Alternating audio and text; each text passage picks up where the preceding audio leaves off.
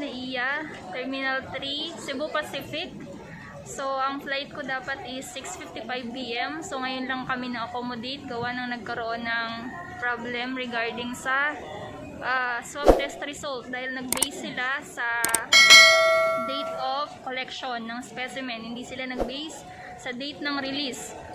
Eventually, So, ito na nga mga bak-ex. Boarding na ako after 2 hours of waiting dahil sa swab test result. So, salamat Lord, makakalipad na rin. Ang daming hinanap. Ang tagal namin naghintay. Ayan, po-boarding na po kami. So, Cebu Pacific. Emergency exit signs found in the cabin. The location of the nearest exits may be behind you. Each cabin door is equipped with a slide ramp. In any eventuality, guests must leave their bags and immediately proceed to the usable exits. There are also fire extinguishers in the cabin. Operation of the device is indicated on the equipment itself.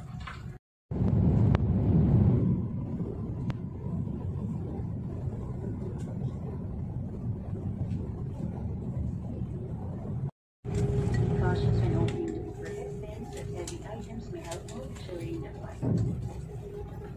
On the Antares Group Pacific family headed by our flight deck crew, Captain Nagami and First Officer.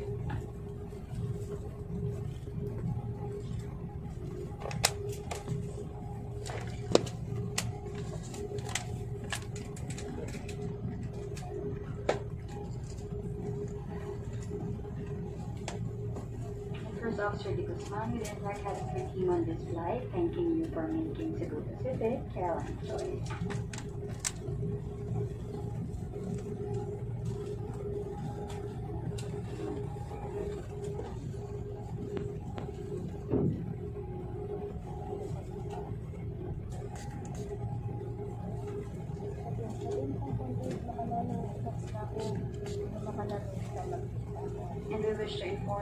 you in of physical distancing, guests will be playing by rows.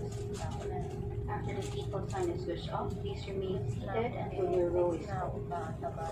Once again, for sanitation purposes, we wish to remind you that bring your leader as you use.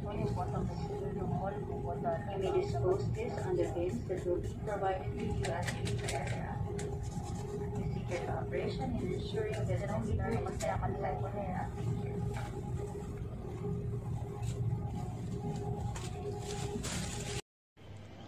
So, ayan mga bakayak, nandito ako ngayon sa Dubai Airport. So, tapos na akong iswab test. Pero yung result nila, after 48 hours pa. So, ngayon, since hindi ako maka-uwi ng Al-Ain dahil hanapan ako ng negative result, so, kailangan kong mag-check-in muna sa hotel. For 2 days maximum. Pero as soon as makakuha ko yung result, pwede na akong bumiyahe pa Al-Ain.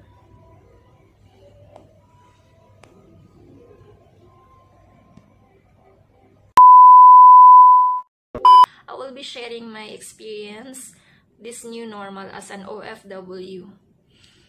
So, magpa-flight na ako ng ah, July 26 and then uh, may nangyari lang sa NAIA with the Cebu Pacific kasi nag-announce sila na hindi daw tatanggapin ang test result ng swab na na tinake ng 21 and 22. So, ang nangyari, nagkaroon ng maraming complaint kasi almost all the passengers, ganun yung case. So, sobrang hirap kasi akala namin, akala ko hindi na ako makakaalis during that day na flight ko. So, ang nangyari, nag-base sila sa date collected ng ah, specimen. Hindi sila nag-base sa test result kung kailan na-release. So, ang hirap ng time frame ng ah, panibago nilang rule kasi yung swab test as per the hospital, ang release ng result is 3 to 5 days. And then yung ICA uh, permit which is the re-entry permit here in UAE is valid lang siya ng almost 1 month. So, kailangan mo din siyang i-consider kasi yung time ng, uh, yung date ng flight mo, yung release ng swab, and then, syempre, yung ICA, yung return permit. Kasi may mga validity lang sila. So, ang nangyari, ang daming complaint, kaya hindi ka agad na process yung uh, pag-check-in namin ng luggage. So, ang daming uh, nag-complain. So, after 2 hours, na-accommodate naman kami kasi nakipag-coordinate sila dito sa Dubai na i-allow kaming uh, mag-flight. So, ayun, upon na uh, boarding na sa aircraft, nasa loob na ko ng aircraft, doon na nag-sink in lahat sa akin yung mga nangyari this pandemic, especially nung pag-uwi ko, ang dami nangyari kasi sa family ko and then sa uh, nangyari sa akin discrimination nung uh, pag-uwi ko galing dito sa UAE. And then, syempre, masakit sa OFW, syempre, aalis na naman and matagal na naman and syempre, ang hirap din ngayon kasi new normal, meron pang gantong pandemic. So, sa lahat po ng OFW na katulad ko, Mabuhay po tayong lahat. So, we arrived safely here in Dubai Airport. 12 midnight po sa time ni Dubai. And then, during dun sa pila ng immigration,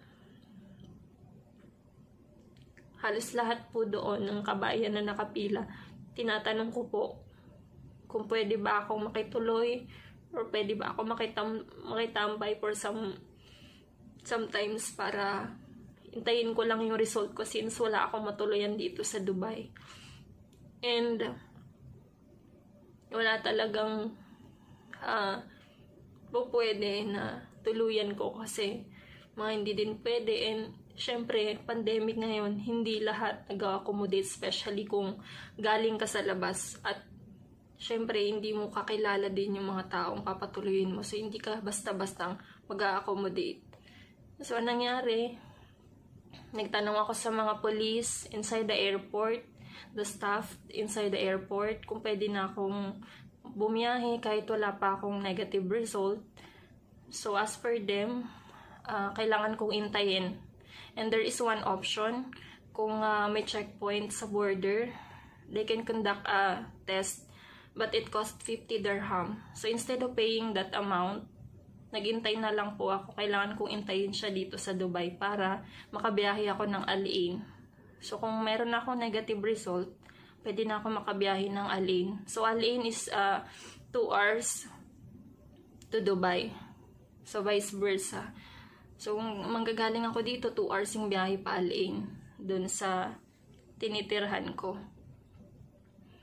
So, nangyari, sabi ko, ang hirap kasi sa naisip ko, saan ako tutuloy if ever, eh, bawal naman sa airport.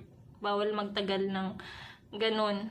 Buti na nga lang inalaw kami na magstay hanggang 6 a.m. or 7 kasi uh, usually hindi talaga nagpapatambay ng ganun katagal ang airport. So, ang nangyari, after swab, swab test, nagtanong-tanong pa rin talaga ako sa mga kabayan na uh, nandoon. So, wala talaga as in. So, parang hopeless na lahat ako.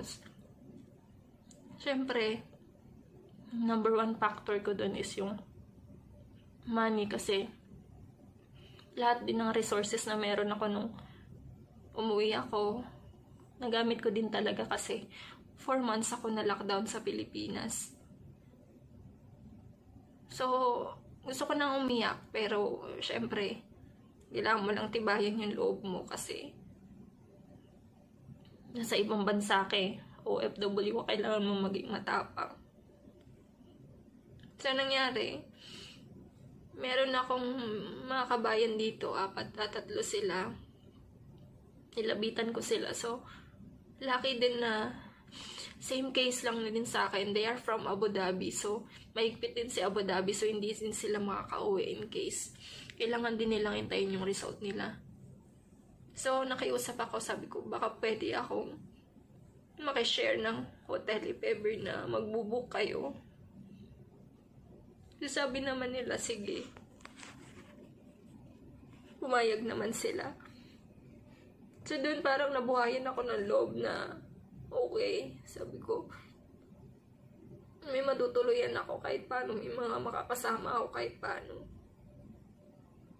Kasi honestly, this pandemic, sobrang laki ng impact sa lahat. Sa lahat, sa buong mundo. Yan lalo sa akin kasi OFW ako. Sa lahat po ng OFW na nakabalik sa mga trabaho nila. Hindi man sa UAE, sa iba't ibang bansa. Mabuhay po tayong lahat. Mag-pray lang po tayo. Kaya po natin to lahat. God will make a way. Para hindi mo ma-feel na mag-isa ka. Gumagawa si Lord ng paraan. May mga tao siyang ginagamit na instrument para damayan ka. Kung ano man yung pinagdadaanan mo ngayon. So yun, nakapag-check-in ako sa hotel ng hati. So, maliit lang yung binayaran ko kasi kailangan ko ding tipirin yung perang meron ako kasi nga mabiyahe pa ako pa alin. So, yun. Mababait naman nila sa akin. Talagang pag mag-isa lang ako, talagang naisip ko lahat naman nangyari na paano kung wala saan ako.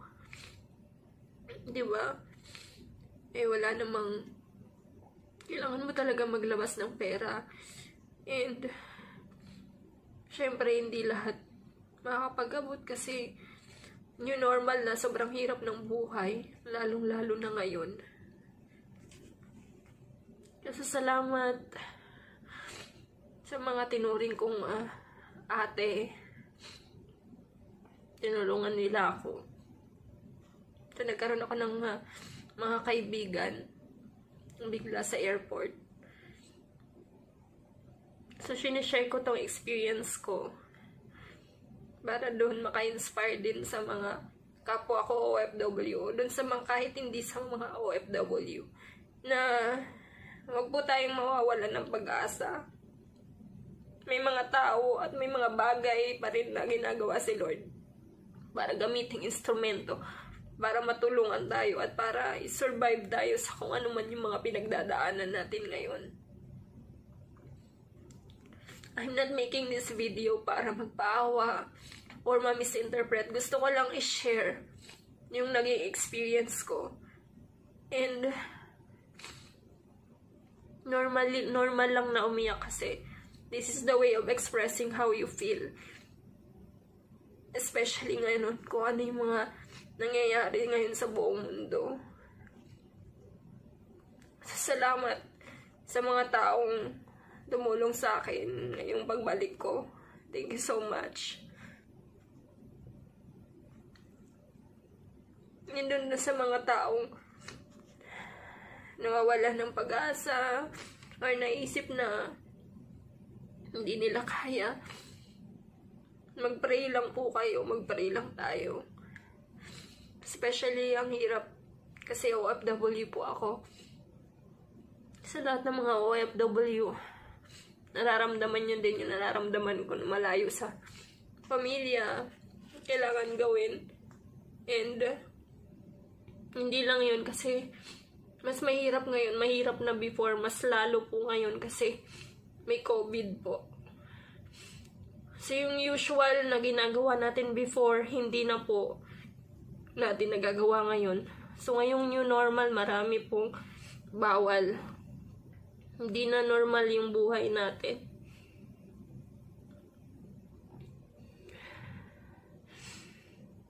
Thank you so much for watching. We'll see you again on my next video. This is again Vanch Navales. And gusto ko lang pong uh, sabihin na may tunay na aral po ang buhay ko ngayong pandemic. So, ang tunay na aral ng buhay ni Vance Navales is never give up and always pray. Lahat hindi ibibigay ni Lord kung hindi mo kaya.